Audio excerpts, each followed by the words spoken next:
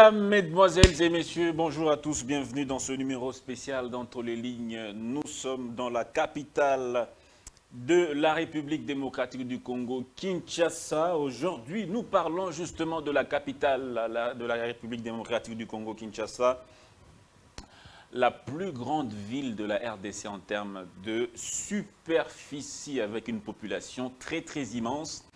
Kinshasa, c'est parmi les villes les plus peuplées d'Afrique, une ville qui est au carrefour de plusieurs autres villes au cœur de l'Afrique. Nous parlons de Kinshasa. Kinshasa, est-ce que cette ville peut-elle un jour sortir de tous ces problèmes, problèmes environnementaux, problèmes de, peuplement, de, logement, d'alimentation? Quelles peuvent être les solutions pour sortir de notre ville de Kinshasa, miroir dans tous ces problèmes? Je reçois donc dans ce numéro consacré à la ville de Kinshasa, Eri Massimbo, qui est coordonnateur adjoint du mouvement Kinshasa mérite mieux.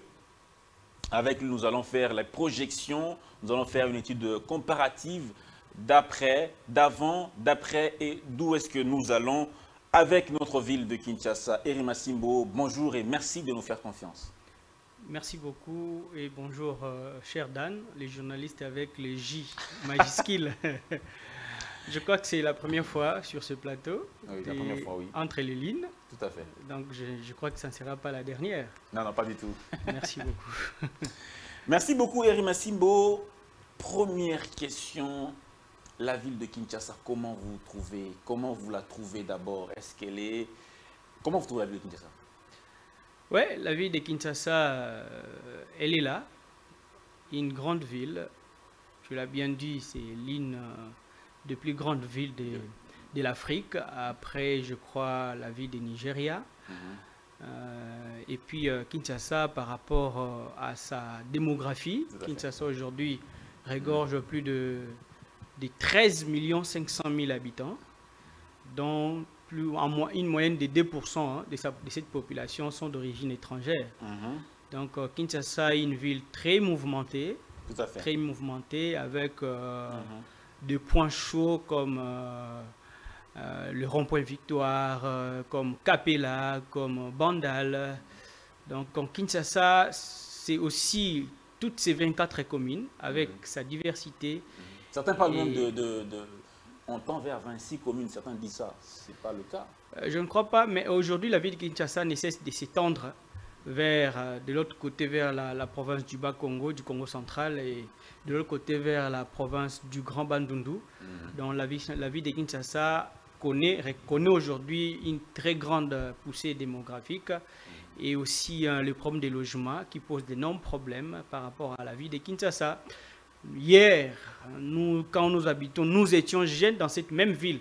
Nous voyons des parcelles, euh, on occupait des parcelles, des grandes parcelles qui hier étaient occupées par une seule famille ou deux familles. Aujourd'hui, dans cette même ville, nous voyons ces parcelles être occupées par quatre, voire cinq familles. Et la Kinshasa aujourd'hui subit, euh, la politique ou les stratégies de, morcellement des parcelles, alors que Kinshasa a assez de l'espace pour être occupé. Ce qu'il nous faut, c'est seulement une politique publique par rapport euh, au logement, à la construction des logements.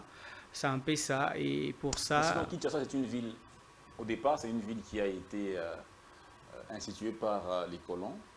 L'homme blanc qui, en venant en Afrique, parmi les villes qu'il a instituées, en RDC, il y a aussi... Mais Kinshasa, au départ, n'était pas une capitale. On a commencé par Vivi, Boma, et puis par la suite... C'est une ville qui, date de plusieurs années aussi. Oui, oui. Ah bon, la ville de Kinshasa, ça a été décidé euh, pour euh, que ça, ça devienne une ville, soit la capitale de la RDC. C'est à partir de la concentration des activités euh, politico-administratives mm. et puis la concentration de, la population étrangère, notamment les, les colons belges, qui s'étaient concentrés ici dans la ville de Kinshasa. Et par après, le gouverneur général avait décidé, avec le gouverneur, euh, qui est local, qui était ici, et de, pouvoir euh, signer l'arrêté sous l'égide de, roi Léopold II pour euh, que la ville de Kinshasa soit déclarée comme la capitale. C'était déjà à l'époque du roi Léopold II que Kinshasa était devenue Bien évidemment. Une ville. Oui, bien évidemment. Alors, Simon, nous remarquons un mouvement qui est un mouvement important, c'est la démographie. Beaucoup de personnes quittent euh, les villages, les milieux ruraux pour venir à Kinshasa. Qu'est-ce qui serait la base? Bon, c'est d'abord euh, la fuite des milieux ruraux par la population euh, de, l'arrière-pays qui viennent ici à Kinshasa. C'est juste, ils sont à la recherche des bonnes conditions de vie. Vous savez, messieurs, Dan, on dit souvent, les grands penseurs disent, euh, un leader avant tout, ou pour les gouvernants avant tout, euh, il faut d'abord chercher à tout prix le bonheur et le bien-être de sa population. Et le bien-être de sa population, ce n'est pas seulement au niveau central, au niveau national, au niveau du pouvoir central, mais cela va aussi de pair hein, et tributaire aussi de la capacité managériale euh, au niveau local. Donc nous voyons dans, dans, quelle manière nos provinces sont gérées. Nos provinces ne sont pas attractives et ne permettent pas à la population de pouvoir euh, rester dans leurs différentes provinces. C'est la raison pour laquelle, à la recherche d'Eldorado, beaucoup de gens pensent qu'en venant à Kinshasa, ils vont trouver euh, de meilleures conditions de vie, ils vont avoir l'accès à l'eau, à l'électricité, ils vont avoir accès à la santé, ils vont avoir accès à, l'éducation de qualité, ils vont avoir accès à des meilleurs logements. Et ils vont peut-être euh, attraper des bons emplois et aussi ils vont bien s'installer et voilà. Mais quand on voit dans la vie de Kinshasa, beaucoup de gens sont déçus, sont déçus surtout avec l'actuel euh, manager de la ville de Kinshasa. oui, notre euh, gouverneur donc, euh, je vois par rapport à tout ce qui est réalisé par à la ville de Kinshasa, c'est qu'il y a manque de politique publique, hein. il y a manque, il y a carence d'un leadership managérial axé sur les résultats de la ville de Kinshasa. Les actions sont menées à pêle-mêle et des actions non planifiées. Là, je vois par exemple le cas des marchés centrales Zando. Aujourd'hui, la ville de Kinshasa n'a pas un marché central. Pourquoi? C'est parce que par égoïsme, par populisme, euh, le manager de la ville de Kinshasa avait a bon choisi de pouvoir détruire ces marchés, bien que beaucoup de Congolais avaient dit non à la destruction de ces marchés. Mais la décision politique a primé sur la volonté du peuple congolais et ce marché a été détruit. Mais, avant de parler de Zando et Rimasimbo, Kinshasa, quand je l'ai dit, est une ville qui a traversé beaucoup de, avant de parler de, Zando et de Ngobila, j'aimerais qu'on reste d'abord dans, l'aspect euh, général, des aspects généraux, des généraux plutôt de, la ville de Kinshasa, où nous remarquons quand même certaines choses qui sont euh, euh, inacceptables, qui sont, je dirais, qui sortent de l'ordinaire. Par exemple, quand on voit cette promiscuité avec laquelle la population vit, cela n'est pas simplement dû, est-ce que cela est nécessairement dû aux gouvernants ou c'est un phénomène mondial? Je crois au niveau des centres-villes ici, nous comprenons cette promiscuité. Mm. Euh, par exemple, la construction des appartements, bon, ça laisse l'espace, tout le monde a au, moins, a au moins son espace à exploiter hein, à son bon fin.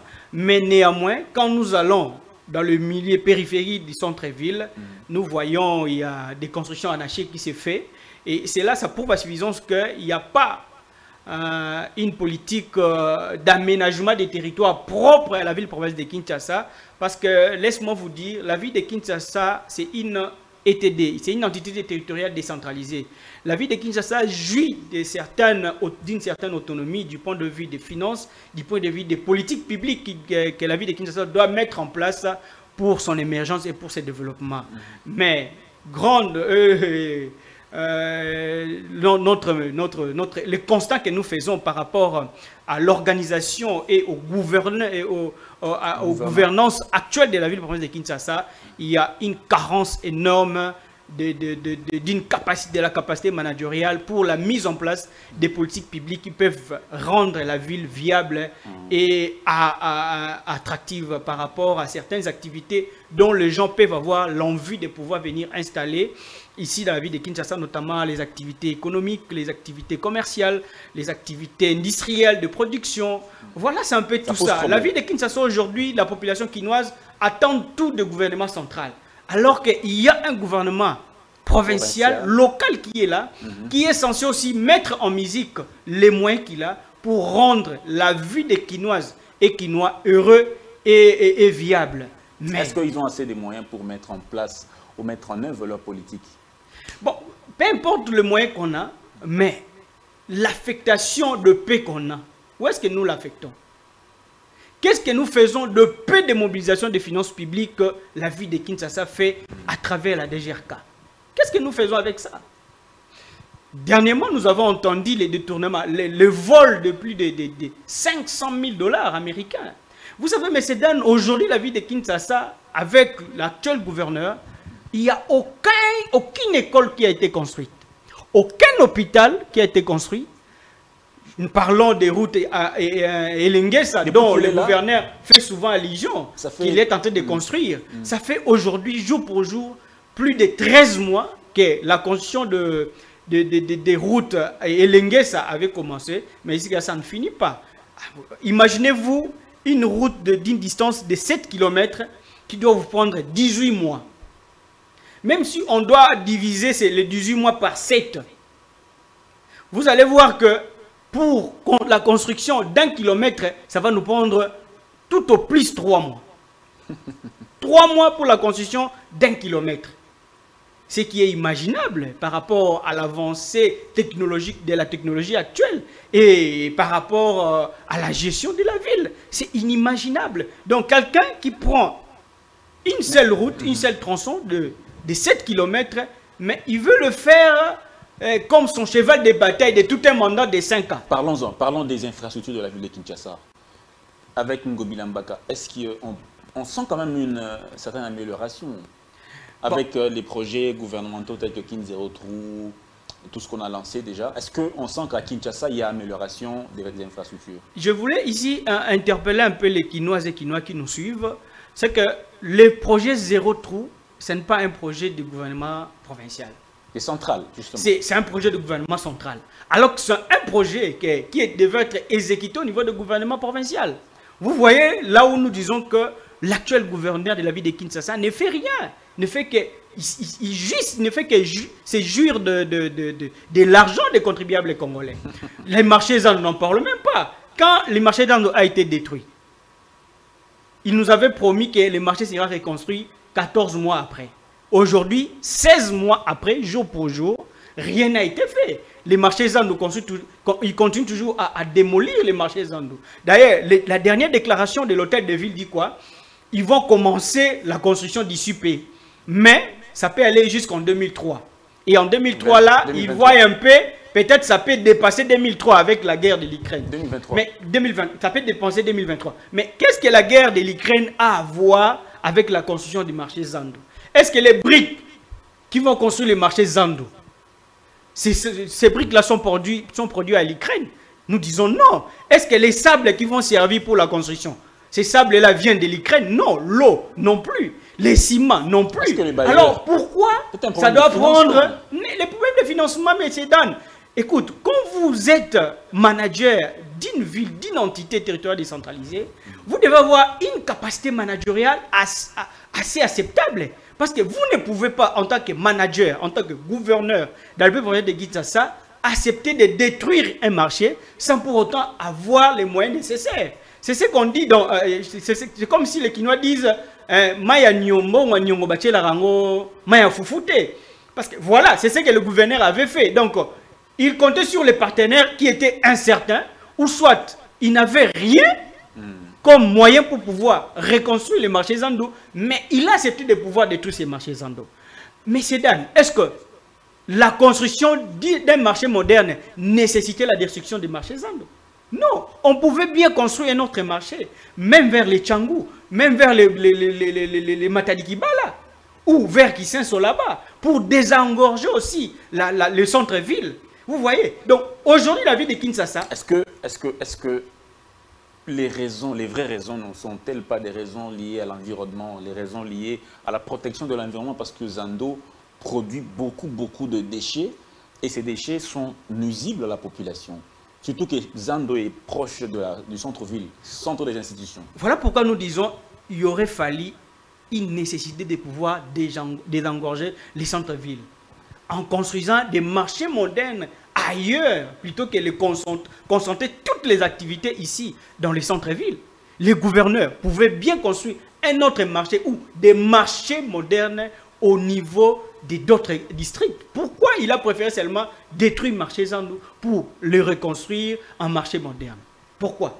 Parce que détruire les marchés Zandou, c'est détruire la vie des millions et des millions de, de, de.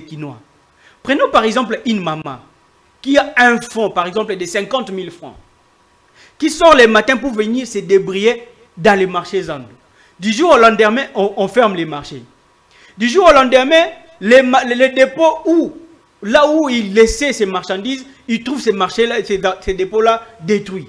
Il ne retrouve même pas les marchandises qu'il avait mis dans, dans l'entrepôt. Dites-moi maintenant, comment est-ce que cette maman-là va pouvoir vivre? Donc, une maman ici à Kinshasa, ce sont les femmes qui tiennent nos ménages. Nous connaissons tous que la vie de Kinshasa... Vous êtes vraiment contre cette décision-là Non, mais nous, avec tous les Quinois, nous, sommes, nous étions contre cette décision. Tous les Et nous le sommes jusqu'à ce jour. Et nous sommes en train de mettre les moyens euh, en musique pour pouvoir voir, dans la mesure du possible, comment euh, mener, tenter une action juridique contre la ville province de Kinshasa. Hein, la personne qui est ciblée dans cette démarche-là, c'est le gouverneur de la ville de Kinshasa, bien évidemment, mais c'est Jean-Tini Ngobila. Parce que nous avons vu que détruire la ville de Kinshasa, c'était, il avait fait de manière précipitée. C'était une décision qu'il avait prise de manière précipitée, alors que c'était une décision qui devrait être mûrie avant. Ce, n'est pas finalement salutaire pour cette population qui va, qui va vendre dans de meilleures conditions, qui aura peut-être de l'espace, qui va peut-être aussi être euh, soutenu par le gouvernement à travers euh, euh, le don des, espaces gratuits. Non, ça ne sera pas des espaces gratuits. Il ne faut pas, céder à ça. Hein. Il faut pas céder à ça. Mais c'est Dan. Aujourd'hui, ils vont nous construire les soi-disant marchés modernes. L'argent destiné aujourd'hui à la construction de, de ces marchés modernes-là pouvait bien servir à réhabiliter Zando et à construire des marchés communaux. Aujourd'hui, nos marchés, dans, nos communes, n'ont pas de marchés. C'est toujours des anciens marchés. Des marchés construits avec, en, bois. D'ailleurs, les marchés dont le gouverneur Jean Gobila avait construit ici, vers euh, le, camp là, là, allez voir, vous allez voir que les gens n'utilisent même pas ces étalages-là. Les marchés, les étalages ont resté vides. C'est que la décision qu'il avait prise, c'était une décision qui n'était pas mûrie. C'était une décision qui était prise à la précipitation. Je crois qu'aujourd'hui, M. Chantini Ngobila a montré ses limites dans la gestion de la ville province de Kinshasa. Si moi j'étais à sa place, j'aurais voulu bien déposer ma démission à l'Assemblée provinciale. Parce qu'aujourd'hui, qu'est-ce que nous remarquons? Même les élus provinciaux ne défendent pas les intérêts des Quinoises et des Quinois. Nous sommes Quinois. Regardons seulement, regardons nous seulement. Nous avons élus. C'est nous qui les avons élus. Regardons seulement, messieurs Dan, s'il vous plaît, les termes des marchés et des contrats qui sont conclus aujourd'hui dans la ville province de Kinshasa. Vous avez par exemple les contrats que l'hôtel de ville avait conclus avec, euh, avec, conclu avec, euh, avec euh, Kinshasa Parking Service, Kinshasa, Congo Parking Service. L'hôtel de ville a conclu un marché avec des partenariats avec Congo Parking Service. Mais le véhicule qu'on appelle en langage quinois ici le Kikalungu, qui ramasse le véhicule mal euh, stationné dans, le centre-ville ici. Ils les amènent où? Ils les amènent au niveau de, de, de Une fois votre véhicule est au niveau de Kalufungula, vous êtes censé payer 100 dollars. Juste pour le déplacement, pour le mauvais stationnement. Et je vous rappelle que ça, ce n'est pas l'infraction. L'infraction, vous allez le payer après à la police de roulage, de circulation routière. Vous allez le payer après. Mais ça, c'est non négociable les 100 dollars.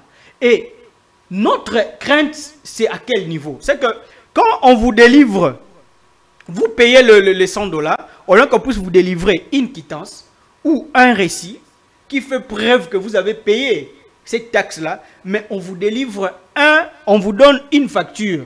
Et les factures, au lieu de les donner au nom de l'hôtel de ville et de Congo Parking Service, on vous les donne au nom de Mboko Di Trading.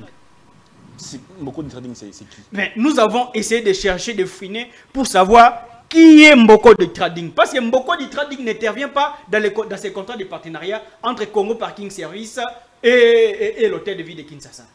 Nous sommes quand même des Kinois. Nous étions intéressés à cette question-là. Nous avons fouiné, fouillé.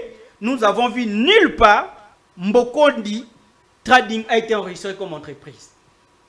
Mais là, on vous dit Sarl Mbokodi, c'est plutôt établissement Mbokodi, perçoit les 100 dollars pour le compte de la ville-province de Kinshasa et pour le compte de Congo Parking Service. Vous avez fouillé Mais Ce n'est nous pas, avons fouillé. c'est pas une entreprise qui a un marché, un compte. Non, non, non, c'est- Congo Parking Service qui a les marchés avec, qui a conclu le partenariat avec l'hôtel de ville. Même les véhicules qui, ram- qui ramassent les Kalungu là, qui ramassent le, le véhicule dans la ville de Kinshasa ici, c'est bien écrit.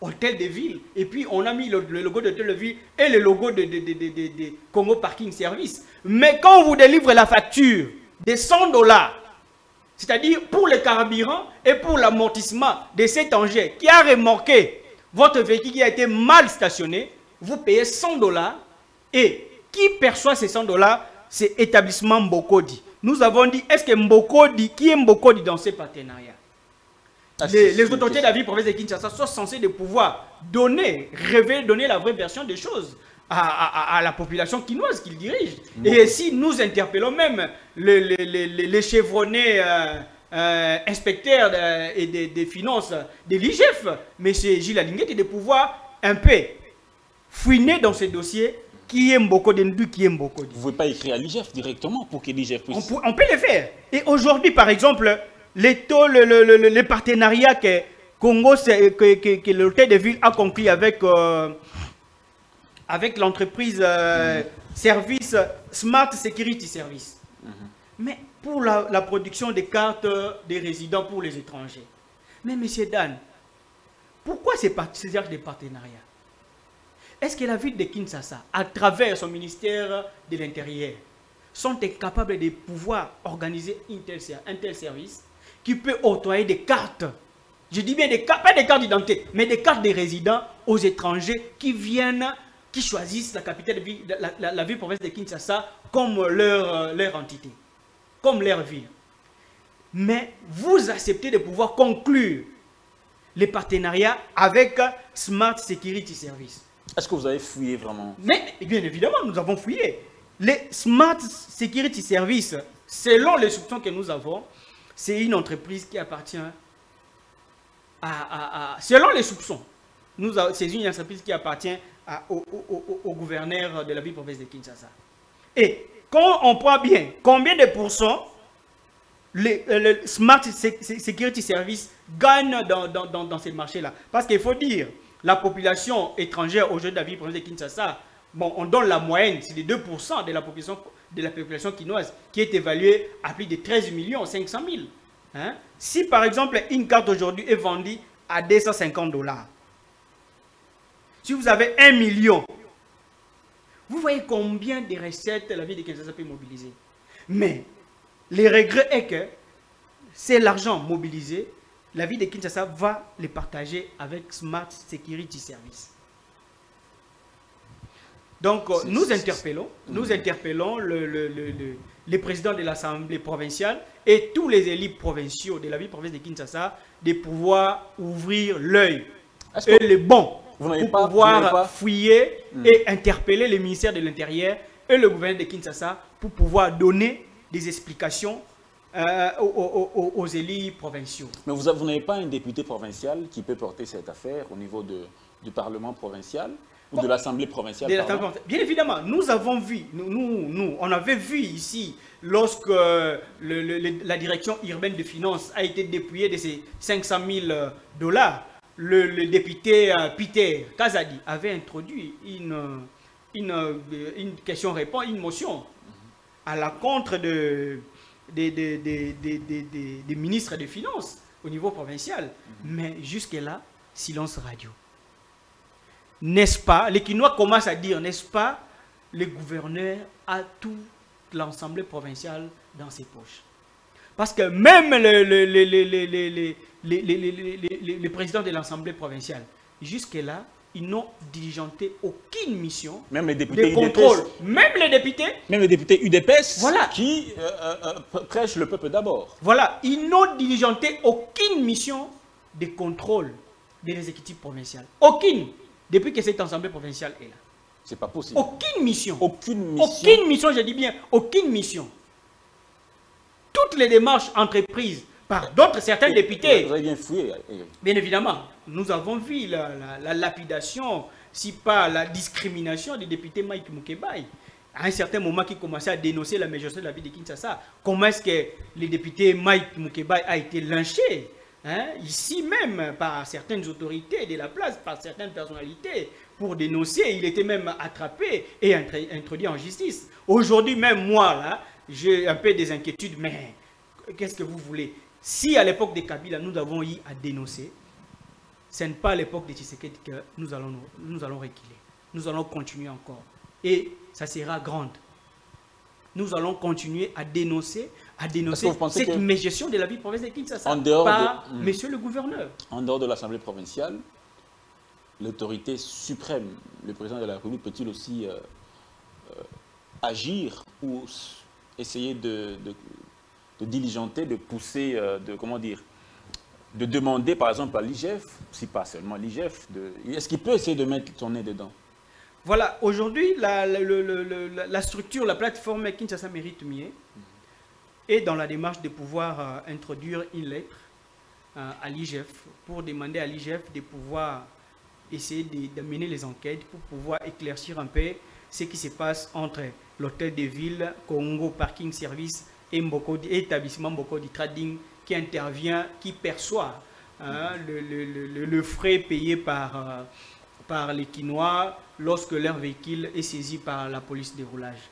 Donc euh, je crois dans la même logique, l'IGF doit euh, continuer aussi à enquêter par rapport à certains dossiers, mais ceux qui sont censés pouvoir les faire, ce sont les députés provinciaux de la ville de Kinshasa, et ceux-là ne font rien, ne font absolument rien, nous ne connaissons pas. Est-ce qu'ils sont là pour défendre les intérêts de l'exécutif provincial ou ils sont là pour défendre les intérêts des, des Quinoises et des Quinois parce qu'au niveau des politiques d'induction d'eau, de l'énergie, ça n'en parlons même pas. Aujourd'hui, le, gouverneur, l'actuel gouverneur de la ville de Kinshasa, ne fait presque rien dans ce secteur-là.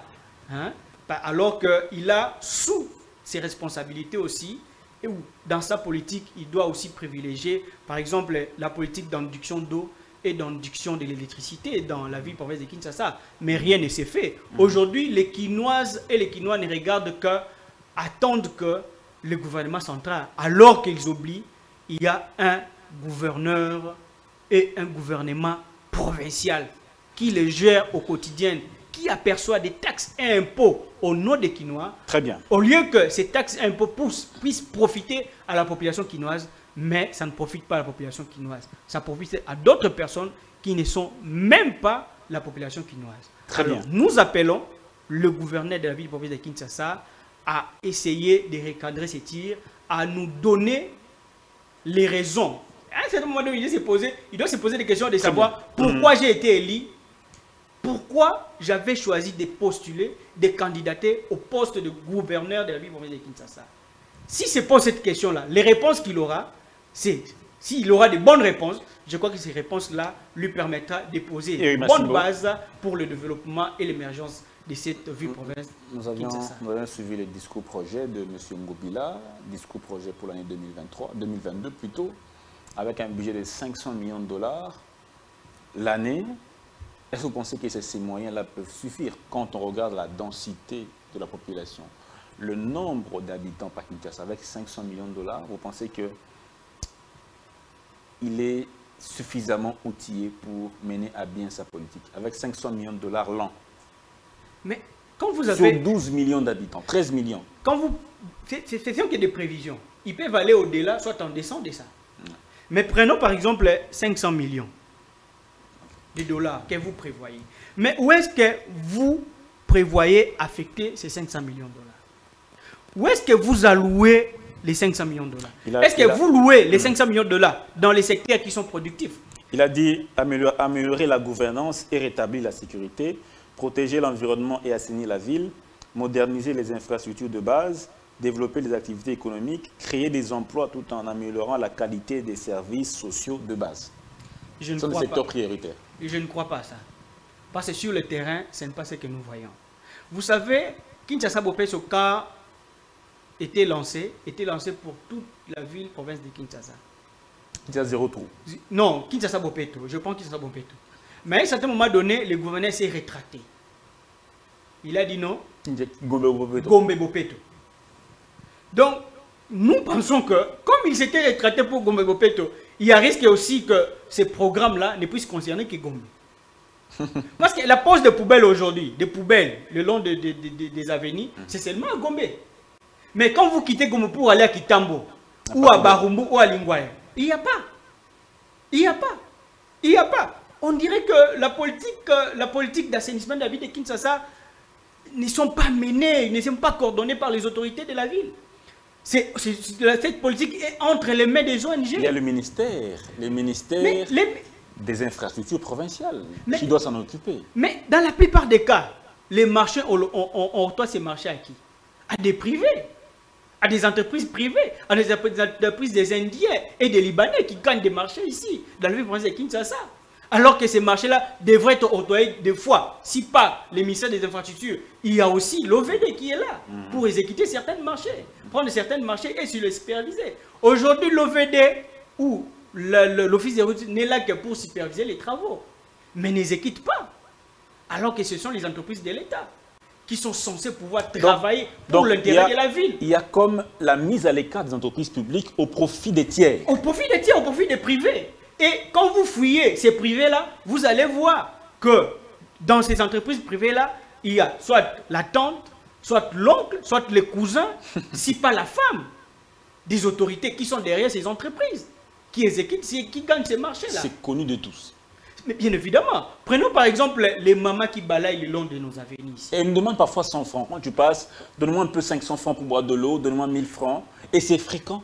C'est fréquent. Une fois, j'ai posé à une maman la question qui est-ce qui vous a engagé ici? Parce qu'on ne peut pas comprendre une maman qui quitte sa maison pour venir mettre de la propriété dans notre ville toute la journée et qui ne soit pas payée. Et même de, l'eau à boire. Même de l'eau à boire. C'est inconcevable. D'ailleurs, il devrait avoir un service organisé qui devrait passer même le long de route pour remettre à ces mamans-là des bouteilles d'eau ou des boîtes de, de conserve de sardines et de pain pour leur permettre de pouvoir se désaltérer, au moins, après avoir balayé. Parce que quand ils balayent, ces gens-là balayent, ils, ils, avalent le, la, poussière. Mhm. Hein? Qui ils sont exposés, à... certaines maladies pulmonaires. Donc vous voyez un peu dans quelle situation la vie de Kinshasa c'est. Parce que quand vous suivez bien, ces mamans-là sont, sont engagées par des ONG.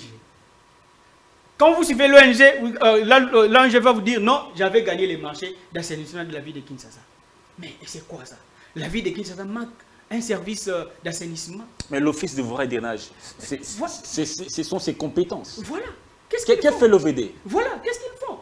Donc les autorités préfèrent bien octroyer des marchés à des privés plutôt qu'à des entreprises publiques qui sont censées travailler pour l'intérêt général. Donc, ces autorités-là n'ont même pas la notion de l'intérêt général. Mais pourquoi ça perd Ils ont seulement la notion de l'intérêt privé. Donc, quand ils financent, ils donnent mhm. les moyens à ces ONG-là, ils savent qu'il y a la rétrocommission. Là, on suppose. On suppose qu'il y a, on suppose qu'il y a la rétrocommission dans ça. Parce que si ce n'est pas ça, pourquoi ne pas redynamiser les services de l'État au niveau provincial? Qui sont Ceux qui sont censés pouvoir assurer ces services-là. Parce qu'ils sont payés pour ça. Mais vous acceptez de prendre, de mobiliser le fonds pour donner aux ONG. Alors qu'il y a des gens, des fonctionnaires de l'État qui sont censés, commis à ces services-là, vous les détournez. Et quand ces, filles, ces vieux-là viennent à l'hôtel de ville, ils passent tout au long de la journée comme ça, sans rien faire. Et puis ils rentrent, alors qu'ils devaient travailler. Mais vous acceptez de donner des marchés à des ONG, parce que vous savez que ces ONG-là sont tenues par soit le cousin, soit la tante, soit l'oncle. Nous, nous, condamnons cela. Et puis nous interpellons les, dirigeants de la vie des provinces de Kinshasa à la prise de conscience. Parce qu'ils sont là pour servir l'intérêt général des Quinoises et des Quinois. Mais ce que nous constatons dans le fait, c'est qu'ils servent leurs propres intérêts.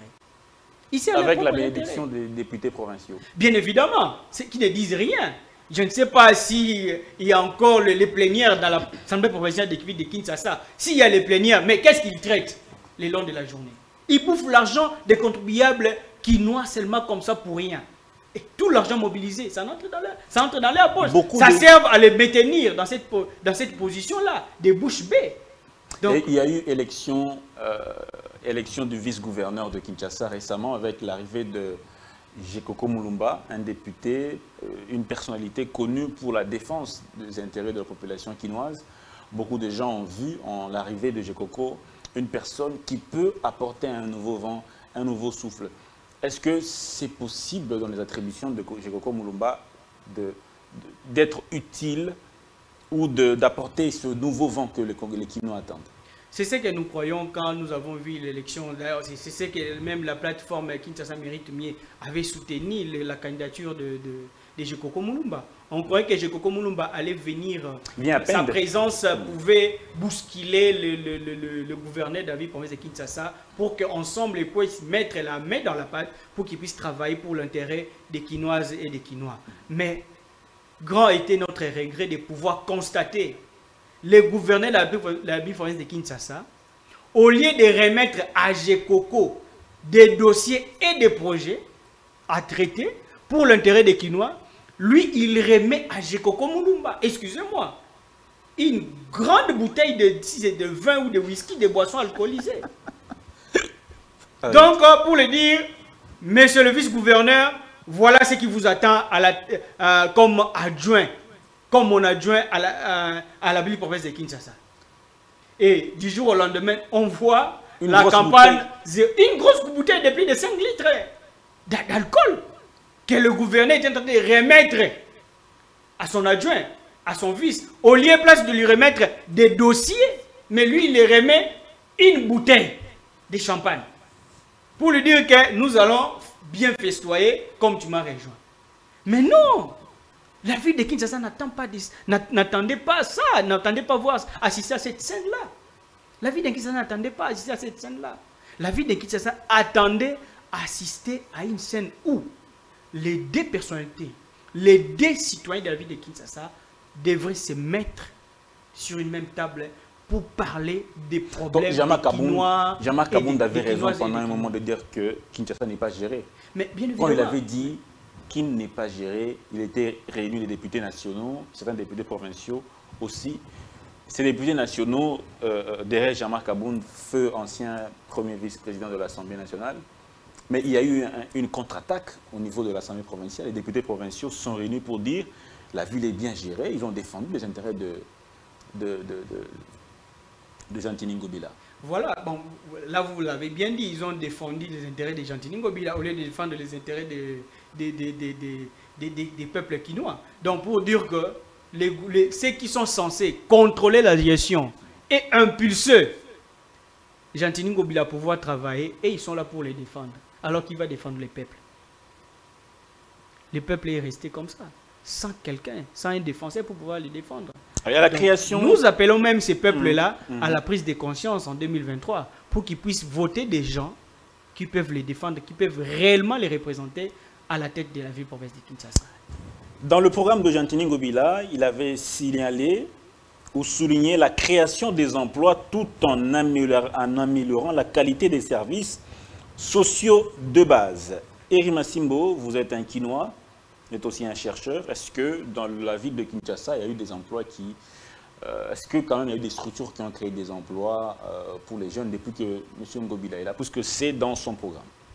Bon, je, ne dis pas que la vie, non, écoute, la vie de Kinshasa souffre d'un énorme, les jeunes quinois. Il y a, la taux de pauvreté est à plus de 41% dans la vie province de Kinshasa. Et le chômage est à, à, plus de 15% des taux de chômage dans la vie province de Kinshasa. Et ces taux-là n'ont pas été réduits par les, par les récentes études. Ces taux-là ont même été revus à la hausse. Donc, euh, pour dire que tout ce que Gentine Gobila est en train de dire, le gouverneur, mon gouverneur d'ailleurs. David de Kinshasa, est en train de dire, il ne fait que, comme disent certaines pensées, de la masturbation politique. Il le fait pour se satisfaire et pas pour satisfaire le besoin de peuple des Quinois. Très bien. Irma Simbo, on ne va pas simplement s'éterniser sur les critiques, mais proposer aussi. Que, quelles, sont les propositions, quelles sont les propositions que vous pouvez faire au gouverneur de la ville dans le domaine de l'assainissement, de l'environnement et dans le domaine de la gestion euh, de tous ces marchés publics qui lie le gouverneur, le gouvernement plutôt Je crois aujourd'hui, euh, ce que nous pouvons dire d'abord comme première recommandation à notre gouverneur, c'est d'abord la prise de conscience. Il n'a pas. c'est d'abord la prise de conscience par rapport à lui-même, individuel, en tant que gouverneur de la ville Kinshasa. Il doit se poser la question pourquoi j'ai été élu? C'est regarder sur le miroir hein, et se dire gouverneur Ngobila, pourquoi j'ai été élu gouverneur de la ville province de Kinshasa? Qu'est-ce que je fais pour les Kinois? Aujourd'hui, quel bilan je peux présenter au peuple quinois pour que ce peuple quinois, en retour, il puisse élire... Ce, grand parti qu'il a créé, l'ACP, en soutien à l'Union sacrée de la nation, c'est quand même... Euh, Moi, aujourd'hui, nous les appelons les, Kia, les Kiabiboara. Ce sont les Kiabiboara. Kiabiboara, M. Dan?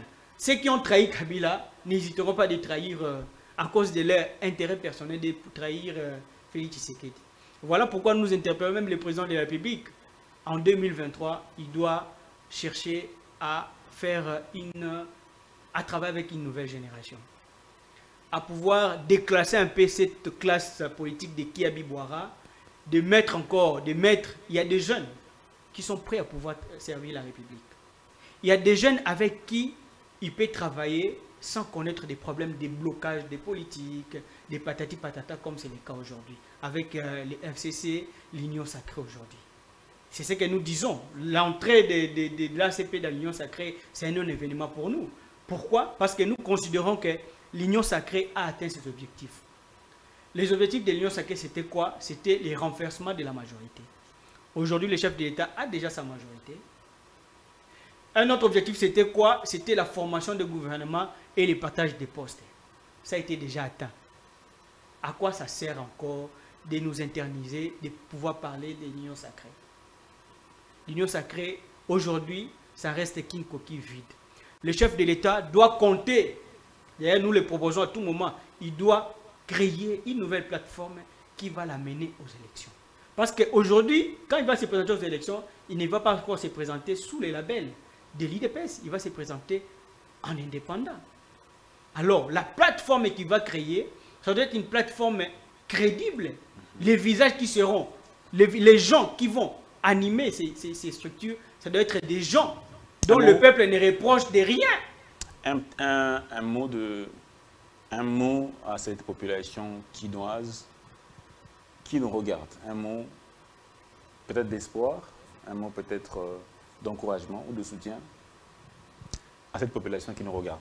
La caméra est là. si je dois dire euh, un mot au peuple quinois, d'abord je le dirai à moi-même. nous n'abandonnons pas. Nous n'avons jamais abandonné. Et ce n'est pas cette mouvance, cette gouvernance de la ville-province de Kinshasa qui va nous pousser à pouvoir abandonner. Peuple quinoise et les quinoises, j'appelle ici les quinoises et les quinois à pouvoir se mobiliser. Ne regardez pas seulement au gouvernement central. Vous avez un gouvernement provincial ce gouvernement provincial est censé vous construire des infrastructures routières, des infrastructures aéroportuaires, des infrastructures, des bases, construire des routes sur vos avenirs, asphalter vos avenirs, relier vos, vos communes en jetant des ponts. Ce gouvernement provincial est censé vous construire des marchés modernes au niveau communal, au niveau de, vos communes. Ces marchés provincial est censé vous donner de l'eau.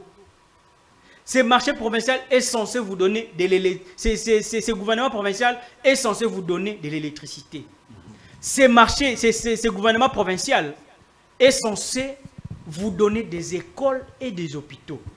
Ce gouvernement est censé faire votre bonheur et assurer votre bien-être ainsi que votre épanouissement. Merci beaucoup. Alors, soyez plus vigilants et plus euh, réclamatif par rapport aux autorités de la ville-province de Kinshasa. Merci beaucoup, Erima Simbo, d'avoir répondu à notre invitation. Ce n'est pas la dernière fois, on vous l'avait dit. Ok. Merci beaucoup, M. Merci aussi à vous, chers téléspectateurs, de nous avoir suivis. On a parlé de la ville de Kinshasa. Si vous, avez, vous voulez un droit de réponse, il y a des numéros qui sont affichés au bas de l'écran. Appelez-nous, nous allons vous recevoir pour venir donc parler aussi sur ce plateau. Congo Buzz Télévision vous ouvre la porte à tout le monde. Merci beaucoup, mesdames et messieurs. Nous vous disons au revoir. À la prochaine, avec le même plaisir, Congo Buzz Télévision, toujours là pour vous.